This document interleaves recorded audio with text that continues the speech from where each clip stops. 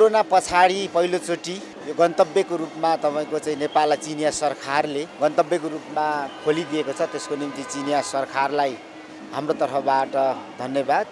र यो तपाईँको गन्तव्य क्षेत्रको निम्ति खुल्ला गर्ने कदमले अझै नेपालको र चिनको सम्बन्ध चाहिँ धेरै नयाँ रूपले नयाँ उचाइमा स्थापित हुन्छ भन्ने मैले विश्वास गरेको छु। अब योगदानको निम्ति प्रारम्भ भएको छ। र उहाँहरूको अब सबै सात सयभन्दा बढी यो लटमा तपाईँको आउने भन्ने छ र आज एक सय एक्कासीजना आउनु भएको छ। मलाई लाग्छ अब ढोका खुल्यो। उहाँहरू त अब कति दिन बस्नुहुन्छ बस्नु त? अब भिसा थपेर पनि बस्नु होला मन पर्यो भने। नेपालको खास खास तपाईँको चाहिँ आकर्षक क्षेत्रहरू घुम्ने भन्ने छ। यो यो भन्ने छ उयो निजी हो।